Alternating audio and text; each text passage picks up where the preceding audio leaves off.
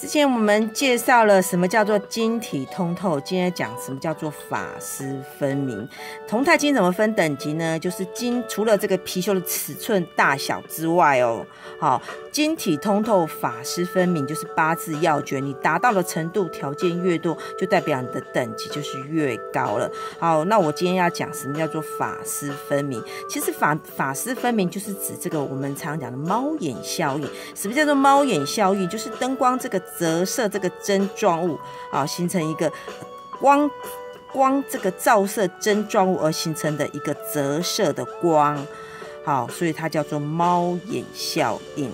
好，就是灯光折射针状物而呈现的一个折射的光，它叫做猫眼效应。所以法师分明其实就是指我们的猫眼效应了。好，就是猫眼效应。那你看像这个来讲好了，因为它的针状物不是很多，不是很多的情况之下呢，当然它就没办法形成猫眼效应了嘛。好，它就当然就没办法形成猫眼效应，因为它的针状物比较多，而且它的呈现这个的比较多，好，而且它是密集的，好顺的，好，你杂乱的情况之下没办法呈现猫眼效应，好，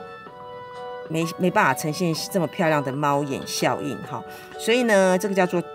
法丝分明，它呈现同一个方向，当然不一定说只只。只要呈现同一个方向，不只是这个直的，那有些呢，少数的情况之下，它还有横的，好，我们就会有，嗯，我们有一批哈，这个当数量不多了，你一个矿石来讲，你要有横的，好，其实这个数量都是非常的少了，大部分都是我们看到的都是横的，好，都是直的，都是直的，比较少看到横的，但是不论直的直的也好，横的也好，最重要是要呈现同一个方向。好，同一个方向才能把晶体的磁场能量呢带给我们。好，这个就是佩戴貔貅的目的，就是借由这个。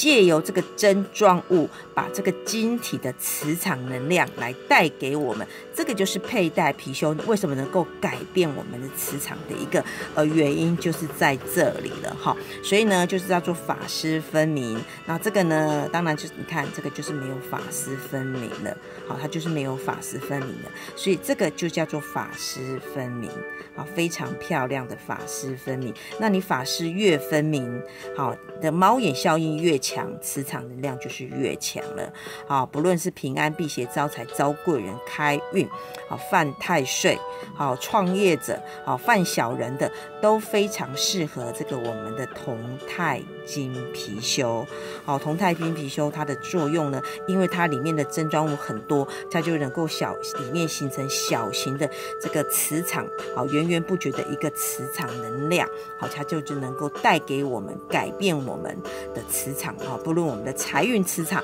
我们的运势磁场，所以为什么需要这个选貔貅，要选磁场能量啊比较强的原因就是在这里。否则的话呢，磁场能量不强，那你带动的力量，好，我们这个这个呃矿石好带给我们的力量呢，它就会比较比较力量就没有这么大。好，所以我们要选磁场能量强，不论平安辟邪招财的力量，当然它的。它这个磁场能量也会比较强了。好，那我们今天就是介绍什么叫做法师分明了。好，是不是要做法师分明，给大家认识一下哦。貔貅，好，今天呢我们就介绍到这里喽。